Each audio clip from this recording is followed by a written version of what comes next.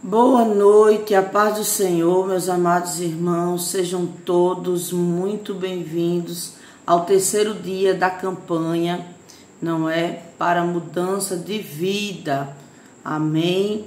A palavra baseado aí no texto de Romanos, capítulo 12, versículo 2, que está escrito: E não vos conformeis com este mundo, mas transformai-vos pela renovação do vosso entendimento, para que experimenteis qual seja boa, agradável e perfeita vontade de Deus. Estamos no terceiro dia do nosso propósito.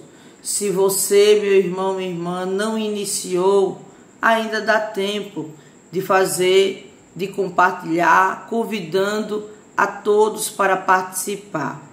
O jejum desse dia será, você vai ficar sem alimentos de meia no, de meio-dia às quatro da tarde, ou seja, das 12 horas às 16 horas, do meio-dia às 16 horas. São quatro horas sem alimento e sem água, sem alimento e sem água desse jejum, desse propósito Vamos continuar esse propósito nesse dia, terceiro dia, sem alimentos sólidos e sem alimentos líquidos, das 12 horas ou meio-dia até as 16 horas. Você está me entendendo? Claro que quem é que tem suas debilidades, né, comorbidades por conta da, de, de remédio, medicamento, não pode ficar, e mesmo sendo só apenas quatro horas, aí você não fica sem um alimento sólido e se, e se alimenta com alimento líquido. É, prepara o seu organismo só para se alimentar do líquido, tá certo? Então cuide, cuide para não quebrar o jejum. É um propósito, é você que é o maior interessado em receber algo de Deus. Então cuide para não quebrar o jejum, ele é curto para educar o seu organismo. Ah, por que curto, irmãos? Porque estamos numa rotina espiritual, tentando eh, educar o nosso organismo, tentando nos adaptar. Então, faça esse propósito neste dia, do meio-dia até as 16 horas. Quando você começar, aí você começa orando, dizendo: Pai Estou começando um propósito de jejum com o Senhor. Fale comigo, meu Deus, nesse tempo. Quando você for entregar, finalizar às 16 horas, você ora ao Senhor de novo, entregando: Senhor, eu te entrego esse tempo de jejum. Obrigado por me fortalecer. Nada de fazer listas grandes, o Senhor sabe a necessidade porque você está fazendo. Então, e você já está orando, não é? Então só entrega o seu jejum, dizendo: Senhor, eu entrego esse tempo de jejum e obrigado por me fortalecer. E você está entendendo? Creia nisso, confie no Senhor, anote isso no seu caderninho para o terceiro dia e o desafio, qual é, irmã Rosa? Toma nota no teu caderno. Nesse período de quatro horas de jejum, você vai louvar a Deus agora que com mais intensidade. Por quê? Porque o espaço é curto, mas também é, é intenso. Ou seja, são quatro horas de jejum, são quatro horas que você vai estar aí para, para pelo menos quatro louvores você vai louvar. Eu sugiro a você um louvor para cada hora de jejum que você vai passar. Não começa ao meu dia, já começa aí louvando. Ah, mas eu vou estar na live. É verdade, você vai estar na live. Está aí já na presença do Senhor. Ao terminar a live, se você estiver na live, se você estiver na live, lembre-se disso. E não é porque é puxando sardinha para o meu lado. Não, é porque você está na presença. É porque você está envolvida com as coisas de Deus. Então, você está no jejum, mas você está com Deus, está naquela situação ali, se apresentando ao Senhor. Quando você começar, você já começa aí, depois que sai da live, você louva um hino.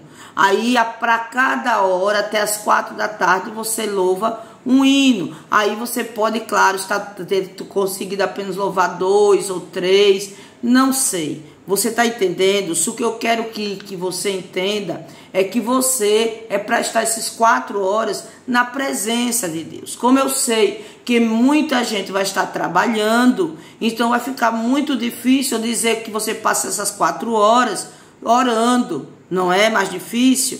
Mas então você passa louvando, porque a gente louva até no pensamento, não é? A gente está trabalhando e a gente está ali. Meu Jesus, tu és bom, tu és tudo para mim. Então você vai lá ali, já está ali, balbuciando louvor para o Senhor, um corinho para o Senhor. Você está me entendendo? Se você não está na live, uma, você já inicia com louvor, a uma hora da tarde outro, duas horas outro, três horas outro, você está entendendo? Você, ou então você não inicia com louvor, mais uma da tarde você louva, duas, três, e ao entregar você louva, tá me entendendo? Mas tente se o quanto mais. Ai, irmãos, eu posso louvar mais de quatro? Claro que pode. Eu estou dando aqui sugestões para que você se eduque, tenha uma disciplina cristã. Então, nesse período de quatro horas de jejum, você vai louvar a Deus. Anote o seu caderno isso e lembre-se que o quanto mais louvar, melhor. Liste também, nesse quarto, desse terceiro dia, 10 coisas que você ainda quer melhorar no seu caráter esse ano. Eita! E é isso, irmãos. Oxe, bota aí com força, meu irmão. Deus vai, tá, vai se agradar e muito disso. Coloca aí na sua lista do terceiro dia, na sua, no seu desafio que você vai estar escrevendo, que você vai estar buscando naquele mesmo sistema. Você coloca, se Deus mudar, mudou. Tá certo? Inclusive, como tem sido esse primeiro e esse segundo dia? Você tem mudado muita coisa? Você começou, ficou bem, depois teve que mudar ou não? Depois me conta aí nos comentários, tá certo? Mas liste, meus amados, nesse terceiro dia, 10 coisas que você ainda quer melhorar no seu caráter, ainda esse ano. É, isso mesmo. Se desafie a pensar em coisas que você tem que mudar, sabe? Ainda esse ano. Especifique como você pode melhorar e como você pode fazer isso. Você está entendendo? Olha só, você vai colocar 10 a lista escrevendo 10 coisas que eu ainda vou melhorar esse ano no meu caráter. Agora, lembre que o desafio é que, que você tem que mudar ainda esse ano, melhorar e como você pode fazer. Você vai pensar nisso, como é que eu posso fazer isso. É esse o seu exercício espiritual. Então, meu irmão, minha irmã, dado aí as diretrizes para esse, esse, esse propósito desse terceiro dia, que é a oração, que já, o jejum, como vai se fazer e como você vai ser o desafio, que eu creio que você já tomou nota. Se você não tomou, volta o vídeo, tá certo? Então vem comigo em oração, ore comigo agora e vamos buscar a presença do Senhor. Senhor, meu Deus e meu Pai, Deus querido, Deus amado, Deus de poder, Deus de misericórdia, nesse momento nós te pedimos a tua graça, nós te pedimos, Senhor, o teu favor, nós te pedimos, Senhor, a tua ajuda, meu Pai. Senhor, quantas pessoas que nesse momento estão orando comigo agora. Pessoas, meu Deus, que entraram nessa campanha pedindo ao Senhor fortalecimento espiritual, pedindo ao Senhor graça, pedindo ao Senhor força, pedindo ao Senhor ajuda. Senhor, nós temos uma batalha travada no mundo espiritual todos os dias, que não é vencido pela carne, mas é vencido pelo Espírito. Não é vencido, Senhor, pela simplesmente não, de qualquer jeito, não, mas é vencido pela palavra, pela oração. Não é vencido simplesmente por força de vontade, mas é vencida pela força espiritual. Senhor, quantas vezes o inimigo tenta neutralizar a vida dessa irmã. Tenta, meu Pai, neutralizar, roubar deste irmão o interesse pela oração, o interesse pelo jejum, o interesse por aquilo que de fato é espiritual. Porque Satanás ele quer destruir as nossas vidas. Ele detesta, Senhor, a comunhão que nós desfrutamos com o Senhor. Mas nós te pedimos neste momento Vem nos renovar, Senhor. Vem nos encher com a tua presença. Vem nos encher com o teu poder. Vem nos encher com a tua graça. Que o Senhor transborde a nossa vida de maneira que não haja lugar, meu Deus, para mentira. Que o Senhor transborde a nossa vida de maneira que não haja lugar para o engano, que não haja lugar para a vaidade, para a soberba, porque o Senhor resiste aos soberbos, mas o Senhor derrama graça sobre os humildes. Vem neste momento, meu Deus, nos tocar com a tua presença. Vem neste momento, Senhor, nos tocar com a tua graça.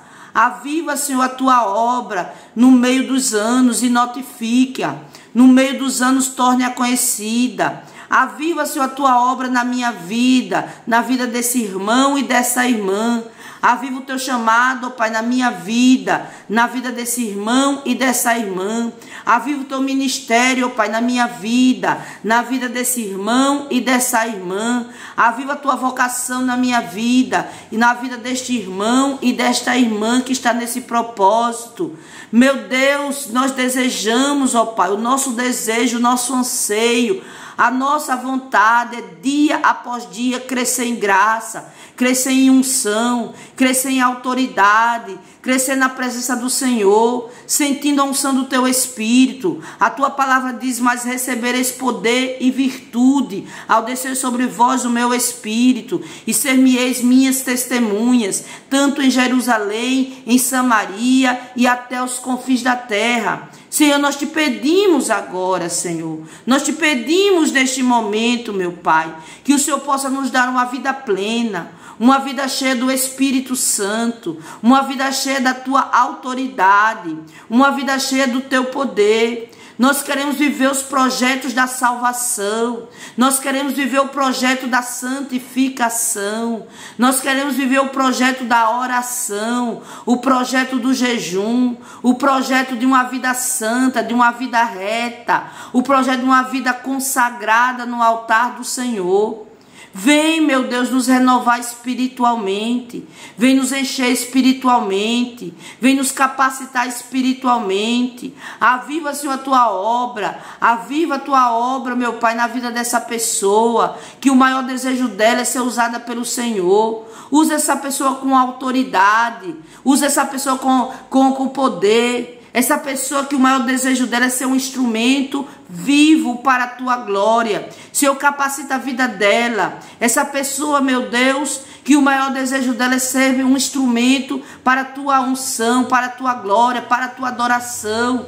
A minha oração nesta noite, neste momento, é que o Senhor use essa irmã, use esse irmão. Nós, nós, nós não queremos estar prostrados porque sabemos que todo aquele que se santifica, a todo aquele que se prepara, ele é separado para toda boa obra. Ele é um vaso separado, idôneo, preparado para toda boa obra. Senhor, vem nos encher com a tua presença, vem nos encher com o teu poder, vem nos encher, meu Deus, com a tua graça. Senhor, vem nos encher com a tua autoridade, vem nos transbordar, Pai, vem transbordar na nossa vida.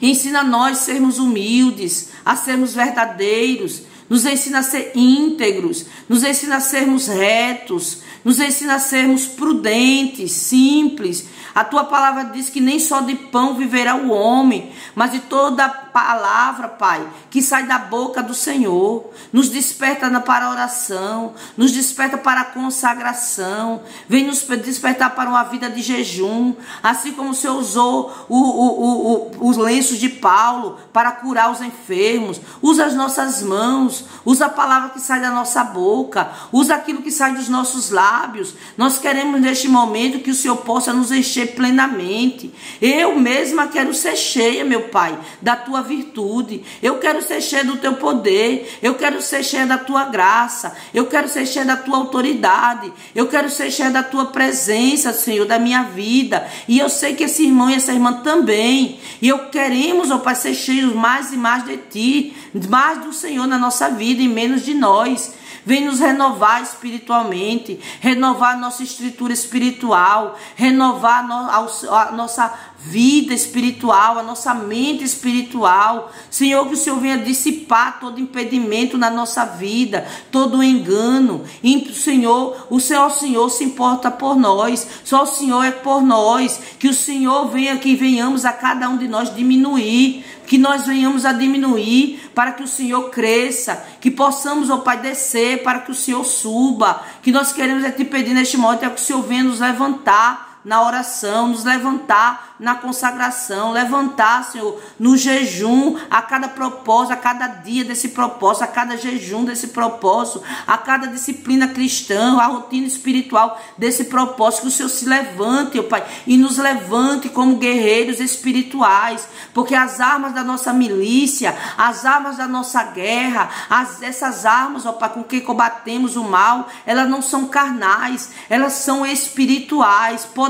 em Deus para a destruição de fortalezas. Vem nos dar força, vem nos dar, dar mais da tua presença, vem nos dar mais do teu poder, vem nos dar da tua unção, vem nos dar do teu espírito, vem nos dar da tua capacidade espiritual, vem, vem nos encher para que a gente possa lutar contra as hostes espirituais da maldade, para que possamos lutar contra o diabo, para que nós possamos lutar contra Satanás. Não deixa, meu Pai, nós retrocedermos, não deixa a gente cair, tombar. Nós não queremos nada disso. O que queremos é ser fortalecidos pelo poder do Espírito Santo, ser fortalecidos pela unção do teu Espírito, ser fortalecidos pela graça do Senhor. Então vem nos ajudar, Pai. Por isso que estamos nesta campanha, por isso que estamos nesse propósito, por isso que estamos neste jejum, por isso que estamos nessa rotina espiritual. Nós queremos vencer essa frieza espiritual. Nós queremos vencer tua guerra espiritual. Nós queremos vencer, meu Pai, em nome de Jesus Cristo.